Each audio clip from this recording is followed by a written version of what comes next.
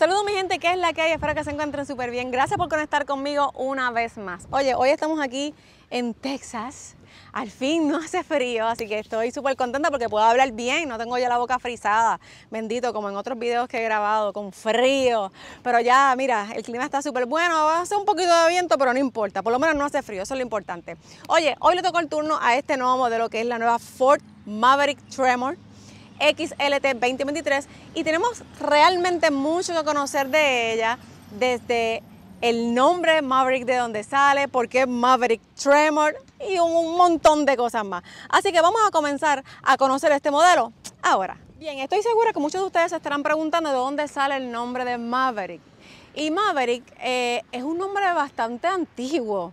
Y es que Ford lo había utilizado como más o menos para los años 70 por ahí, eh, pero no para una pick-up sino para un auto deportivo. Y ahora decidió como que revivir ese nombre, pero en una pickup, que es lo que estamos viendo ahora mismo. Esta que está aquí.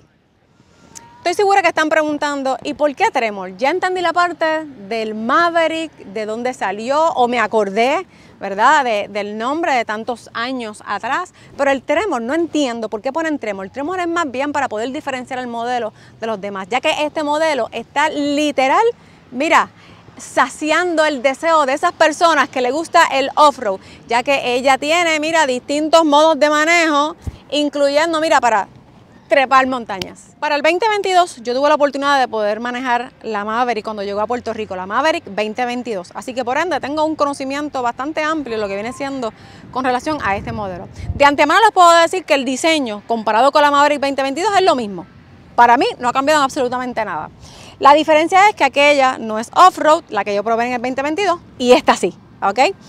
Eh, la, otra diferencia que también tiene comparándola con esa Maverick 2022, pues mira, son los detalles, aparte de que es off-road, son los detalles distintivos que trae este modelo, pero eso es más bien para poder identificar, la verdad, de que este es un modelo completamente diferente a las demás. ¿Qué detalles distintivos tiene? Pues por ejemplo, tiene unos detalles anaranjados a vuelta redonda del modelo que lo vamos a estar viendo ahora mismo. Vamos a comenzar con el frente de este modelo y podemos ver cómo el detalle anaranjado que estoy mencionando está de foco a foco. Miren esto, mano, se ve espectacular.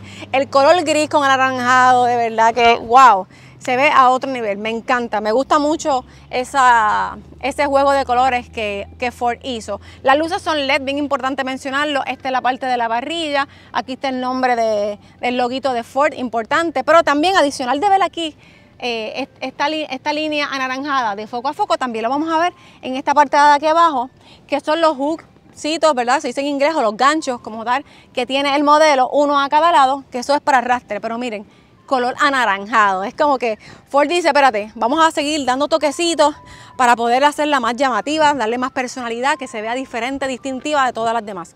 Adicional a eso, oye, no voy a dejar, no va a pasar por desapercibido el bonete. Miren qué espectáculo. De verdad que aquí la creatividad se fue a otro nivel. Tenemos aquí, esto es un diseño, es como decir cuando usted va a pasar con, su auto, su picado, su guagua, cualquier modelo que usted tenga, por la arena, usted sabe que usualmente eh, se marca la goma. Pues eso es lo que estamos viendo aquí, como si fuese la marca de una goma. Mire qué cosa más brutal. De verdad que me gusta. Así que de verdad que me gustó. Me gusta mucho cómo se ve. Si nos vamos para el área de los laterales, podemos ver el color anaranjado en el XLT, que es para identificar el modelo. me gustó que lo pusieran en anaranjado. Si vemos los aros, esto es aro 17, ¿ok? Obviamente va a ser negro, porque usualmente, por lo menos cuando el modelo está para la categoría off-road, casi siempre, o por, no, vamos a decir siempre, tienen los aros color negro. Pero aquí hay una diferencia, es que sí, el aro es negro, pero tiene el detallito color anaranjado. Así que Ford siguió jugando con esos detalles y de verdad le están quedando fuera de liga. Si seguimos viendo el modelo, el área de los laterales podemos ver que el diseño sigue siendo el mismo, pero vemos el mismo detalle que vimos aquí en el bonete. Lo estamos viendo aquí en la parte de abajo. Miren esto. Lo mismo, literal lo mismo. De verdad que brutal. Ahora bien, esto no, no puedo dejar de verdad de pasarlo por desapercibido. Y es que este modelo, no sé si ustedes se pueden fijar cuando nos echamos un poquito para atrás, el modelo llegó un poquito más alto. No tanto, ok, no tanto, pero llegó un poquito más alto. Estamos hablando de 1 .5 pulgadas más alto, ¿ok?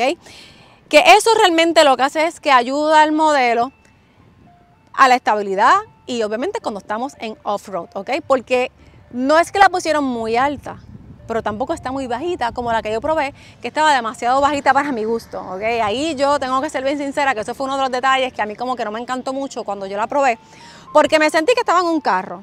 Y yo honestamente para sentirme que estoy en un carro, mejor compro el carro.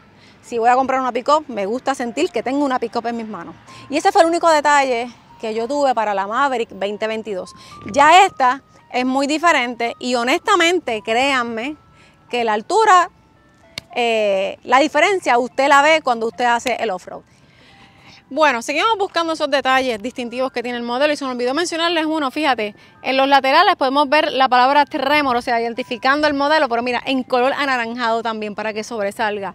Me encanta. Ok, ya estamos en la parte trasera ahora como tal y podemos ver que la puerta del cajón dice Maverick, sencillo, pero ya cuando vamos aquí a la esquinita vemos la palabra Tremor, para que, mira, no importa por dónde la veas, tú sepas que el, que está a vuelta redonda suya sepa que usted anda montado en una Tremor, ¿ok? Aquí tenemos la conexión, ¿verdad? Para el arrastre, que vamos a hablar de eso, de cuánto ella, ella aguanta. Vamos primero a abrir la puerta como tal de, este cajón, que aquí tengo una crítica como tal, y es que, mano, me hubiera gustado que bajara un poquito más delicada y no tan, tan rough, porque bajó como que demasiado duro. Hay otras puertas en otros modelos que ella baja así, suavecito, delicadita. Me hubiera gustado que esa tecnología, ¿verdad?, la tuviera aquí.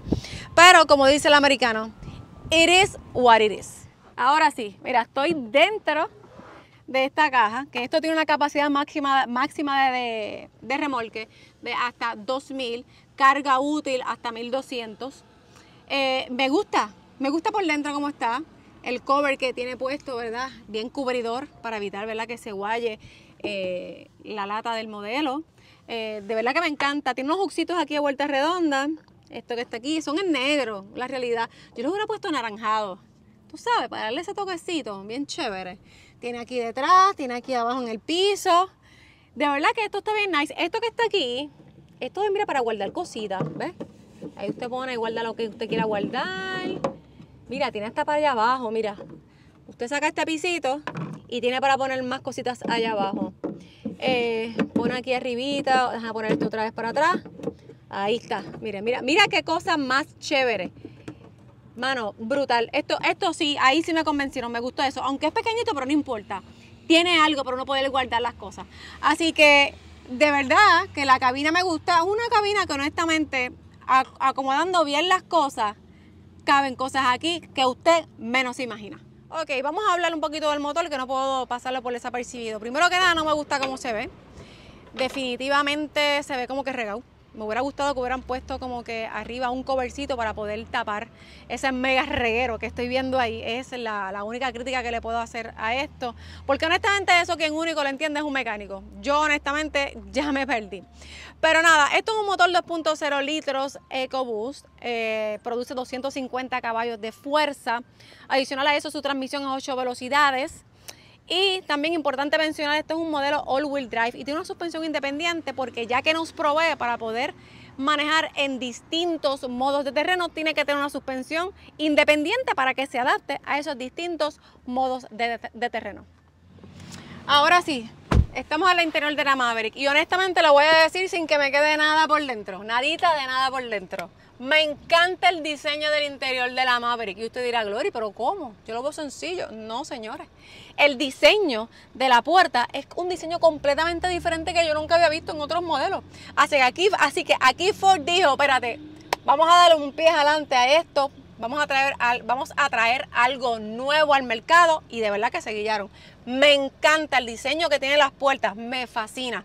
El color que utilizaron son colores cubridores, estamos hablando eh, del azul con gris, aunque no es un azul brillante, pero sí es un azul bastante cubridor, que es lo que yo quiero. Yo quiero tener colores cubridores en el interior de mi modelo para que me duren un poquito más, ¿ok? Así que honestamente esta combinación me gusta. O sea, no, nos salimos de, ese, ¿cómo se dice? De esa zona de más de lo mismo, ¿ok? Porque no son los mismos colores que tampoco usted ve usualmente en el mercado. So, aquí de verdad que Ford, honestamente, mira, utilizó su imaginación la, y la puso a correr y aquí está plasmado. De verdad que me encanta. Eh, la pantalla que está frente al conductor. No es una pantalla digital, ¿ok? Vamos a dejar esto claro. No es una pantalla digital, pero sí el centro es digital. Y aquí le aplaudo a Ford que por lo menos la pantalla digital que está en el mismo centro de esta mega pantalla es grande. Esa parte digital es grande. De verdad que gracias. Es que en otros modelos la pantalla central, que es lo único digital que tiene, es así chiquitita. Entonces usted va manejando tratando de ver qué es lo que rayo le está diciendo el modelo y no puede distinguirlo porque es tan pequeño que usted no lo ve. So aquí Ford de verdad, mire, un aplauso. Ahora bien, el guía tiene los controles básicos que traen, ¿verdad? Todos los modelos en cuanto al control de, en cuanto a controlar el cruise, el cruise control, subir, bajar el volumen, etcétera. Coger llamadas, enganchar llamadas, todo eso básico lo tiene, lo tiene este, este, este guía. Ahora, la pantalla central. Aquí yo me perdí. Igual como digo una cosa buena, tengo que decir la cosa que, es media extraña. Y es esto que está aquí, este hueco que está aquí. ¿Para qué rayo es? No le veo utilidad. Todavía es la hora que no entiendo para qué es este hueco. Si alguien sabe que me diga, porque honestamente no sé cuál es la utilidad. Usted me pregunta a mí, yo hubiera hecho esta pantalla completa, de este mismo tamaño, completito, completito. Y ya lo hubiera aprovechado para la pantalla, para que sea un poquito más grande. Y la información que me provea, pues mira, eh, tener una mejor ¿verdad? visibilidad en cuanto a la información que me facilita. Eh, ya esto aquí es el control del aire acondicionado, subir, bajar el volumen, esto aquí para poder poner poterías, cargar celulares que lo tenemos aquí. Este viene siendo el botón, ¿verdad? Para parking, reversa, neutro o drive, ¿verdad? Para poder continuar la marcha. Este es el parking, el botón, que esto es algo básico. Aquí tenemos para los distintos modos de manejo, que ya mismo se los voy a mostrar cuando hagamos la prueba de manejo. Y eh, aquí tenemos el botoncito de lo del all-wheel drive. Aquí tenemos, mira, para guardar cositas. Me gusta porque es profundo. Ahí se la tengo que dar. Y aquí para poner cositas. Ahora bien, los asientos. Me gusta el colorcito que le dieron. De verdad que me gusta. Me gustan los detalles en anaranjado. Me gusta que en el espaldar tiene trémol en anaranjado. Me gusta. De verdad que ahí se lo tengo que aplaudir. Pero, pero, pero. Siempre hay un pero. Manos son en tela. Y honestamente no, enteras no me gustan, por lo menos a mí, porque no son lo suficiente cubridoras. Aunque usted dirá, ay Gloria, pero hay cover, es verdad, hay cover. Pero si fuera otro material, que aunque usted le ponga un cover, usted está claro y seguro que el asiento no se va a manchar, no le va a pasar nada, pues ok, pero este no es el caso. Estos asientos son en tela y ahí sí yo hubiera puesto otro tipo de material. Las alfombras son en goma, las amo. Cuando estamos off-road, esto es bien, bien, bien importante. Así que nada, esto es prácticamente la parte de al frente. Vamos ahora a la parte de atrás. A ver cuán cómodo es, cuán espacioso es y si ese techo es lo suficientemente alto para cuando se siente una persona de 5'11. Vamos para allá. Ok, estamos en la parte trasera. Aquí voy a enseñar un par de. Primero, eché los asientos uno bien para atrás y otro lo suficientemente hacia el frente. Me gusta probar los distintos espacios para poder ver, ¿verdad? La, cuánta comodidad ella nos provee de una manera u otra.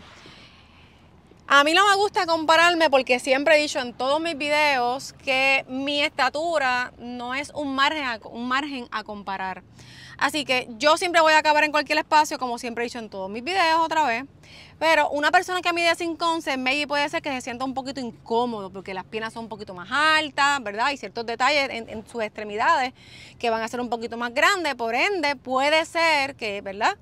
Que, le sea un poquito incómodo. Aunque vamos a dar este detalle importante y es que no sé si ustedes se percatan que el asiento, ves que tiene aquí como con una, una bolita, pero aquí como que echa hacia el frente. O sea, está brindando un poquito más de espacio, ¿verdad? En cuanto al diseño, como diseñaron el asiento, está brindando un poquito más espacio para esas personas que tienen las piernas largas. Así que puede ser, puede ser que esté cómodo aquí adentro. Ya con el asiento suficientemente hacia el frente, pues vemos un espacio bastante amplio. Tenemos esto aquí, ¿verdad? Para, para poner diablo. Esto es bien old school, mano. De verdad, yo hubiera puesto algo para cargador de celulares, ¿verdad? Más moderno. Pero anyway, todavía esto trae los que se ponen así, los redonditos. Eh, nada, podemos ver los asientos en la parte trasera que sigue la continuidad de las líneas de la costura, color anaranjada. Eso me, me gusta muchísimo. Tenemos aquí para poner las poterías. Ahora bien, vamos a verificar si estos asientos bajan, o sea, si esto baja para acá, si esto baja para acá. Vamos a ver si ella trae esa comodidad. Ok, aquí estamos. Veo que aquí tengo algo para poder alzar esto. Miren esto. Ahí está. ¿Vieron? Trae la comodidad de poder subir como tal el asiento de aquí de esta parte trasera y esto ya es para guardar cositas, ¿ves? Como tipo cajoncito con su profundidad para poder guardar cosas aquí adentro. Herramientas, soga, lo que sea necesario para cuando usted está en ese off-road no se quede a pie. Pues aquí tiene el espacio suficiente para poder guardar esas cositas. Ahora para bajarlo, entiendo que esto lo jalamos hacia arriba esta cordita y la dejamos caer y listo. Bueno, vimos la comodidad y bien importante que no menciones la capota. Tenemos una capota lo suficientemente alta aquí, aunque no se nota mucho en la realidad, pero vemos aquí como que una ondeadita leve que tiene y eso más bien, ¿verdad? Para las cabezas, cuando uno se siente y una persona es alta, pues mira, tenga la comodidad y el espacio para entonces poder sentirse cómodo. Este modelo es bastante cómodo y a la hora de manejarlo, eh, es bastante cómodo. He podido manejar distancias largas y honestamente me he sentido súper chilling, que de verdad eso es un punto bien positivo. Así que nada, vamos a ir ahora a manejarlo para entonces adicionar de la comodidad, poder sentir el resto, que es lo más importante, como es el arranque, como es la frenada y otras cositas más. Vamos allá. Ah, perdón, que este ya no es a botón. Caramba, aquí estamos un poquito old school. Ok. Y mira, buscando el palanqueo. Ahí. Y no hay palanca, lo que hay, mira, un botoncito. Sencillito, tranquilito. Y lo hago así. Mira, así nada más. Ahí está el drive. ¿Vieron? nada, estamos aquí en la Maverick eh, Tremor. Este es más bien tipo off-road. Y vamos a probar la, la aceleración de este modelo. A ver aquí.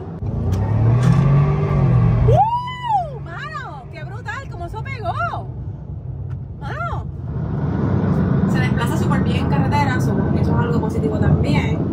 No se siente trotona, fíjate, trotona es pesada, no se siente así. Aquí ah, no hay más curvas. Se acabó ese mambo. no sé, me gusta, me gusta de verdad como ella. Me gusta mucho como, como ella responde. Espero que no haya cuál de atrás de, de, detrás de mí, porque la estoy trepando a mí ya. Se, se desplaza demasiado de bien, es como que bien friendly. Frenada estoy en desacuerdo con el modelo porque no me gusta cómo frena, no, no es precisa y eso es algo bien importante. Eh, pero también tiene los distintos modos de manejo, que es un botoncito que está por aquí, que dice Tremor. Y ahí entonces que comenzamos con los distintos modos de manejo, que si vemos en pantalla, vamos a ver que estamos ahora mismo manejando en el normal, ahora sí, normal, estamos aquí, eh, si vamos a arrastrar algo, un jet ski o algo así, eh, tenemos aquí, espérate, estamos aquí, ok, ahora, estamos en el slippery, que eso es, eh, el anterior es, por ejemplo, cuando cae nieve en, en, países que son cálidos como Puerto Rico, pues cuando llueve, pues es funcional. Tenemos tierra, tenemos también cuando estamos en... Eso es cuando ya vamos a hacer un off-road, la suspensión se siente como cambia. ¿Sabes? Ahorita yo la estoy manejando y puedo como tal sentir la suspensión como, como cambia. Así que definitivamente tenemos un modelo bastante funcional para los distintos terrenos. Bueno, y ya, hasta aquí mi información y opinión referente a este modelo. Honestamente me sorprendió, tengo que aceptarlo. Este, un modelo de gasolina que responde súper bien. Sus detallitos, ¿verdad? Que yo diría que mejoraría, pero yo creo que todo modelo siempre tiene sus detallitos. Es raro ver un modelo perfecto. Así que honestamente, de verdad, yo entiendo que de un 10 le puedo dar un 8.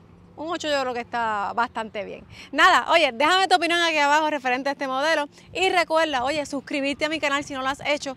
Dale a la campanita y regala la voz para que más personas se enteren. Mira, de este, mi canal de YouTube, Glory Racing PR. Ahora sí los dejo porque me quedé con las ganas. Vamos a dar otra vueltita más. Chequeamos.